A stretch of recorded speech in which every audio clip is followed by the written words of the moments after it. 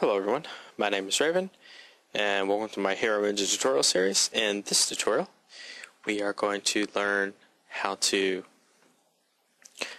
set up the sorry the dynamic day night system. So the first thing we want to do is we want to go to our render panel, which I already have up, and we want to scroll all the way down to the bottom, and we want to make sure that directional shadows is on. Now the reason uh, we want this on is so obviously when our day night cycling through, you know, it'll it will uh, look pretty nice. Now we need to load up the environmental panel. So I have it right here. However, you won't have it right there. So go to Windows, then Environment, and then check the box that says Use Dynamic Sky. Okay. Now this bit HeroEngine does and makes it really easy. You can see right now the time of day is 0.05 and you can just use this slider here. And you can go all the way through. And you can simulate moon which will then make our world bright.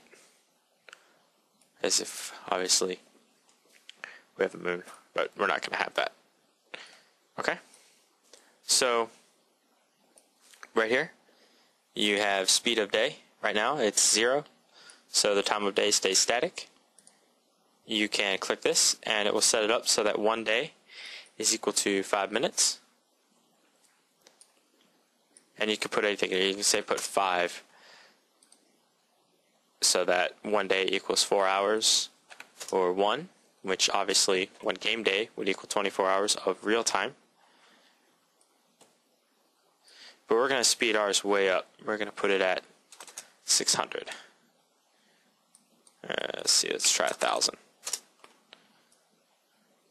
And as you can see, we're very quickly and very rapidly.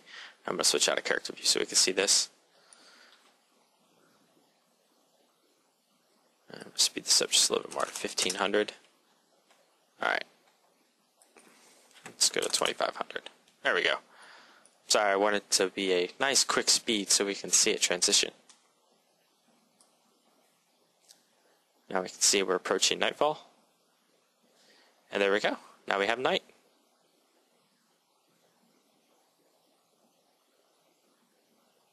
So, it's literally that easy to create a day-night system inside of HeroEngine. If you have any questions, uh, stop by their forum. Any HeroEngine specific questions. If you have any questions specific to this tutorial, please stop by my forum.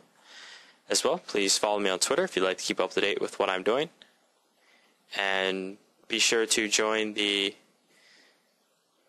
Facebook and Steam group. Alright, I'll see you guys in the next tutorial. Thank you.